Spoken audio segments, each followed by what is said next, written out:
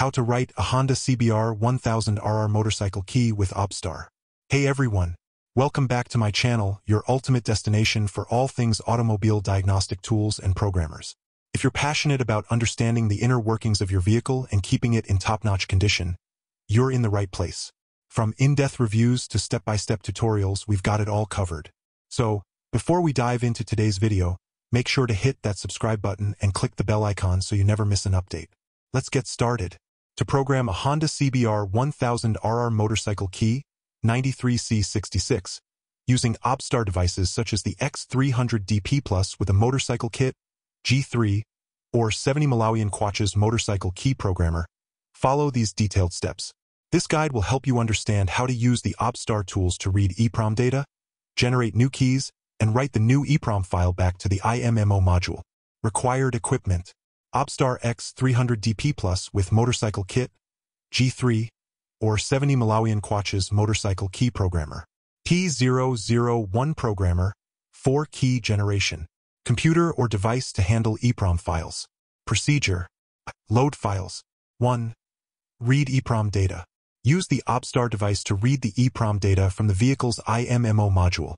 This step should be done through the RFID menu and not the IMMO menu. 2. Save the EEPROM file. Copy the EEPROM file to the following directory on your device. Local backslash home directory backslash DP backslash serial number. 12 digits. Backslash data. 3. Load the EEPROM file. Open the OBDSTAR software interface and click on the Load Files button located in the lower left corner. Navigate to the directory where you saved the EEPROM file and select it.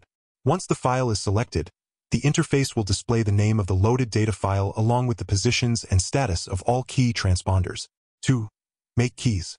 1. Select key position. On the right side of the interface, click on the key window to select the key position you want to generate. Click the Make Keys button to proceed. 2. Connect the P001 programmer. Connect the P001 programmer to the diagnostic equipment. If this is the first time you are using the P001 programmer, it will need a firmware upgrade. Complete the firmware upgrade before proceeding to generate the key. 3. Generate the key. Place the new key into the P001 programmer.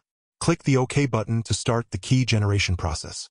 Wait for the key to be generated successfully. A new EEPROM file will be created simultaneously. 3. Write back files. 1. Save the new EEPROM file. The newly generated EEPROM file will be saved in the original path where the initial EEPROM file was stored. 2. Write the new EEPROM file to the IMMO module. Write the new EEPROM file back to the vehicle's IMMO module using the OBDSTAR device. 3. Test the new key. After writing the new EEPROM file to the IMMO module, the vehicle should be able to start with the new key. Important tips. Power supply. Ensure your device is connected to a stable power supply throughout the process to prevent any interruptions or data corruption. Data backup. Always make a backup of the original EEPROM file before making any modifications. Network connection. Ensure your OBDSTAR device has a stable network connection, especially if it needs to download any updates or instructions. By following these steps, you can successfully write a new key for the Honda CBR 1000RR motorcycle using OBDSTAR tools. Thanks for watching today's video. I hope you found it helpful and informative. If you did, please give it a thumbs up and leave a comment below letting me know your thoughts or any questions you might have. Your support means the world to me and helps keep this channel going. Don't forget to subscribe if you haven't already and share this video with fellow automobile enthusiasts. Together, we can make the world of car diagnostics and programming a bit easier for everyone. Until next time, take care and happy diagnosing.